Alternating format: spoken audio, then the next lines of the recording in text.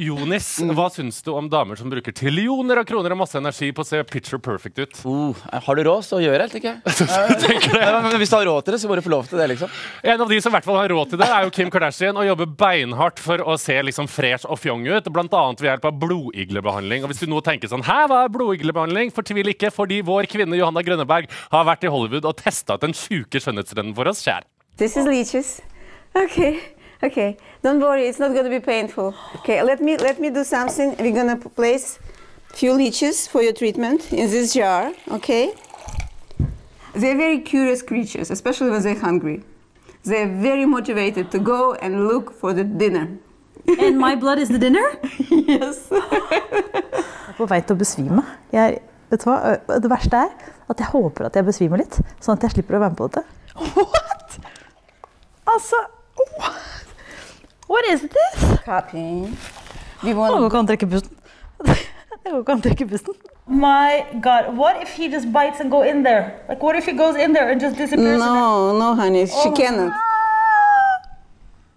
They love you right away. They love Look, me? They love you. Oh, oh. right when you said that. Oh. This one is going at it. This one Out of right here. Yeah.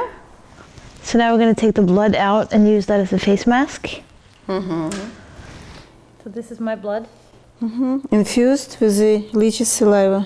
Johanna, du har testa sjuke skjønnhetsbehandlinga i LA. Eh, Blodigla denne gangen. Hvordan føltes det å ligge der med liksom blodigler og blod i fjes og alt som skjedde rundt? Det var helt sykt. Først var jeg livredd.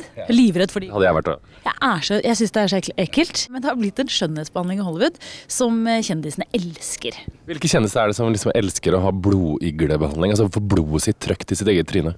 Alle. Det er Nei, ikke alle. nesten alle, tror jeg. Men i hvert fall Kardashian-familien er store fan av dette her. Eh, alle Real Housewives-damene og ja, veldig mange. Demi Moore er jo den som gjorde det kanskje aller mest kjent. Eh, og hun ser jo veldig bra ut. Så det er bare å få en haug av igler på seg som eh, tar blodet ditt. Jeg kan så vidt snakke, for det blodet, mitt eget blod, er så stramt. At det er så vidt jeg klarer å røre fjeset. Jeg ville jo aldri tatt noen igler på meg her i Norge. Og begynte å, og vi hadde jo ikke gjort det, men i Hollywood så blir man litt gæren. Sikkert gøy å prøve, men holder med litt frisk luft og en litt av eh, Rema-krem, eller hvis man har lyst på flott fjes? Jeg tenker at en tur ut i kulde i Norge, kanskje en tur opp i fjellet eller noe sånt, og, og spise litt sunt, nei, det må være like bra, for jeg har ikke tenkt å gjøre det en gang til. Nei, er du gæren? Det var Johanna Grønberg som testa såkalt vampire treatment, som Kim Kardashian liker så godt. Hva syns dere om behandlinga, Bahar og Jonis? Det der var uh, nasty shit. Det var nasty Det shit. var nasty shit. Men det er, du har for mye penger når du kan gjøre noe sånt. Det det koster jo visstnok ekstremt mye penger, det her. Altså, det er så, Per igle, liksom. per igle som suger altså, det, det, Det er 10 000 per igle. Fikk du lyst til å prøve, Bahare? Nei. Nei, Bare fikk generelt det med å ta noe fra en kroppsdel på en annen. På en annen? Det er som om du liksom spytter ut mat og så Nydelig, Har dere noen forslag til andre ting man kan trekke i fjeset for å se bra ut? enn uh, ditt eget blod sugd ut fra Oi. blodigler? eh, ja. Masse Hva da? Jeg tenkte på Jeg jeg husker sånn sjokoladespa eh, før. Ja!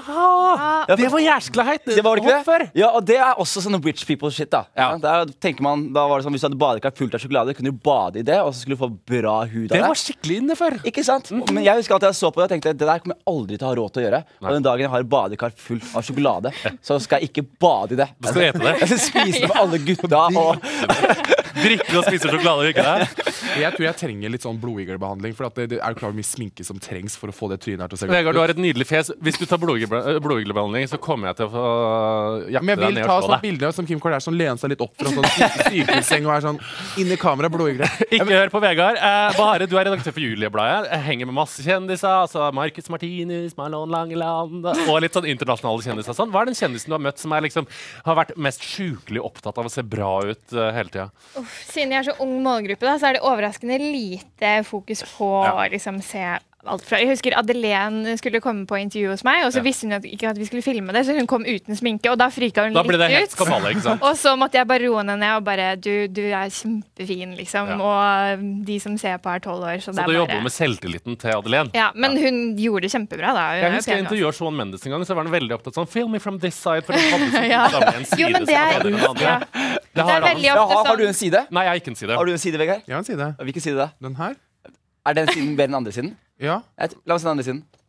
Nei, for her har du Ja, du er mye styggere på den sida der, Vegard, enn på den andre. Herregud, skjerp deg. Det der stemmer ikke. Du er nydelig fra begge sider. Herregud! Det er så mye!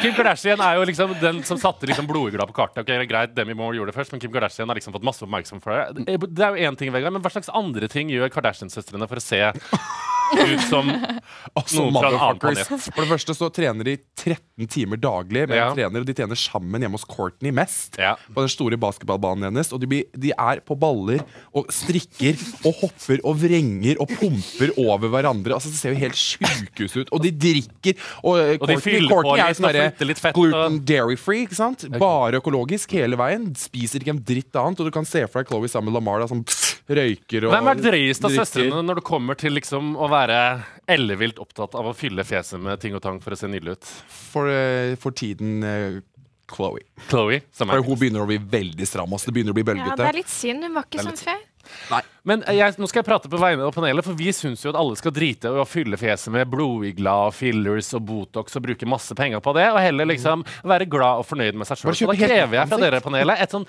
jordnært, godt og sunt skjønnhetstips fra dere alle sammen. Vegard først.